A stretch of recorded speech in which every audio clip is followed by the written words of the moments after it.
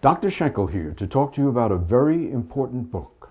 It's all about the life and death of an agency that created perhaps the most successful advertising of the last half of the 20th century.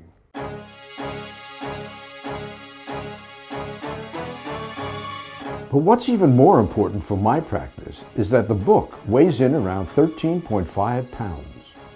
This sort of thing keeps me very busy.